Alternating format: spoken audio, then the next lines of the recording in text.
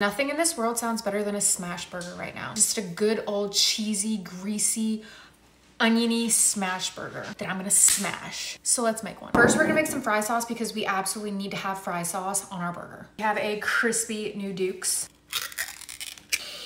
Delish. We're gonna do about half a cup. Cat soup. Sorry, you guys couldn't really see that.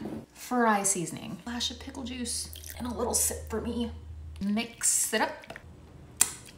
That's delicious. I want some Funyuns, so we're using a mandolin.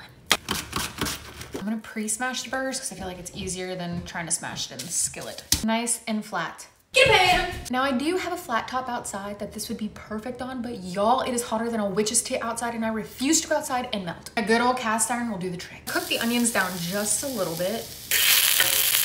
Onions are about right where I want them and we're gonna remove some. Burger down.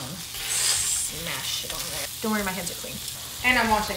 We're gonna hit the burgers with a little bit of seasoned salt.